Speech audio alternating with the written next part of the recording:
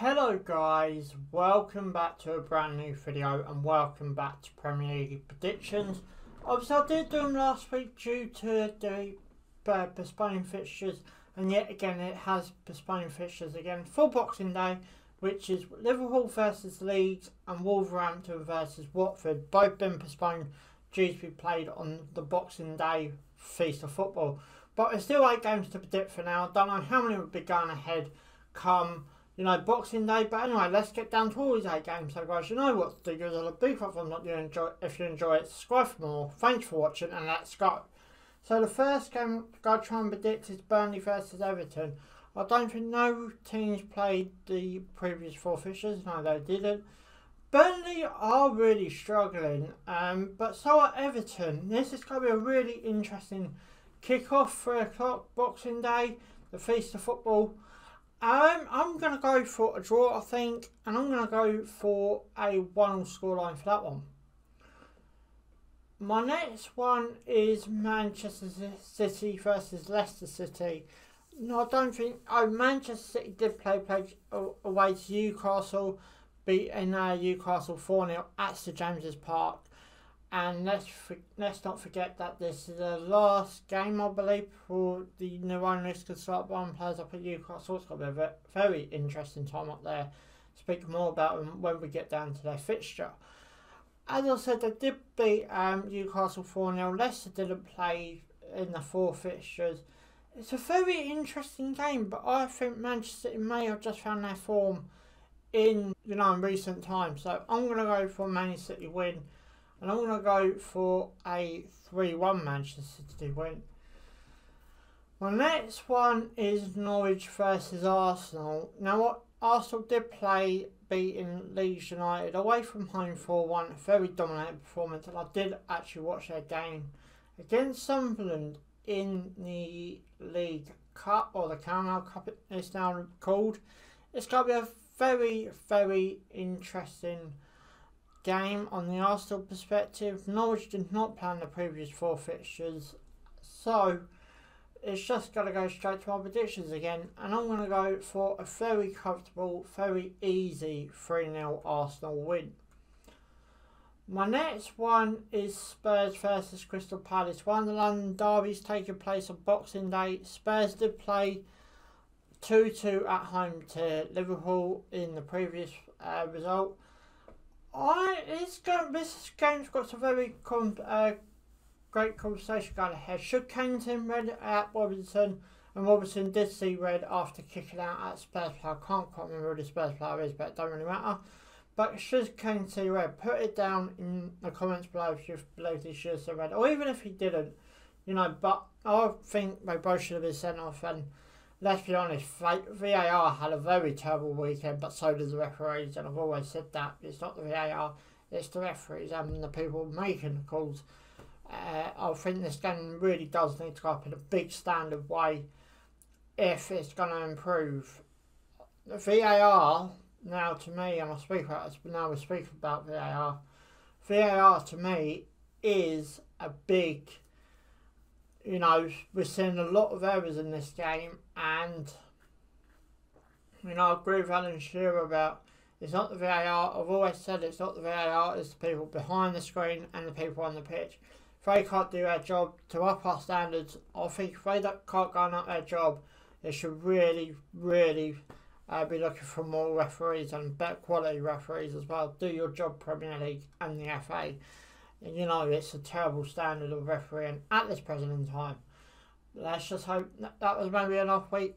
Maybe they should build on it next week. But I think it's Jamie Carragher was saying about now Mark Riley, who's a big charge referee, that's Premier League referee himself.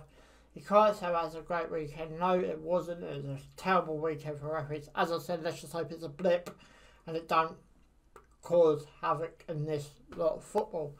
But anyway, because Crystal Palace didn't uh, play, say, play, I mean, um, I'm going to go for a result of a 2-1 Tottenham win. My next one is West Ham versus Southampton. Now, I don't think neither team played during the previous four games. No, they didn't. West Ham do look very dangerous. They nearly came back at Spurs during the Carabao Cup game. Unfortunately, it didn't quite happen, but you know they did really have a go. You know at Spurs, so it's going to be a very interesting game. Southampton ain't playing that badly either, so I'm going to go for a. Uh, I'm going to go for a draw, I think, just about. Both teams are playing quite okay football. And I'm going to go for a 1 1 scoreline for that one. I'll go 1 1, but don't be surprised if West Ham doesn't win that one. My next one is Aston Villa versus Chelsea. Now, Aston Villa did have a game called off. They were one of the big clubs that had the outbreak. And, you know, going up against Chelsea this weekend. And Chelsea only drew to Wolverhampton in the previous Premier League fixture. And they only just really squeezed in the League Cup. I think they beat Brentford 3 0. But a team of Chelsea calibre, you know, should maybe done better. But AO it's the way football goes, and they're not really looking great goal scoring form at this present time. If I'm being brutally honest with you, so I'm gonna go for I'm gonna go for a light draw, I think, and I'm gonna go for a one-all scoreline for that one. My next one is Brighton versus Brentford. Yes, my local club should be playing again.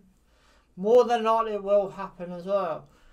Now we have had our light outbreak and if you go back to watch my Wolverhampton vlog, you will have seen how frustrating I, I was and still am. We can't put the ball in the net. Brentford are a very, very good team and they can come down and cause problems. We only beat Brentford away from home. I only remember this because it's you know it's the build up to the game itself. We only beat Brentford 1 0 away from home and there was a late Trossard goal. Trossard should maybe fit, uh, feature in this game. Like I said, Neal Maupay coming back for Brighton as well. This going to be a tough game, a really tough game. I'm going to go for a draw and I'm going to go for a 1-all scoreline for that one. My last one for this weekend is Newcastle versus Manchester United. Newcastle did play losing 4 0 to Manchester City at home. As I said, the big spenders should start coming into play. I can't see. I mean, I've done a video with one player that every club needs to buy, and I've made that pop up at the end of this video just to catch you if it's in it.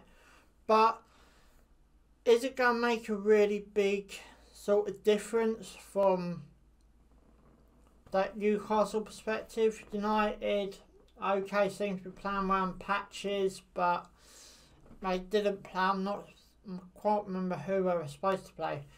But it's always been a very interesting game up at St James's Park between these two clubs. So I'm going to go for a Man United win just about, and I'm going to go for a 2 0 Man United win. But anyway, guys, have a great Christmas you know what to do. Give us a big thumbs up if you enjoy it. Subscribe for more. Thanks for watching. Ciao for now.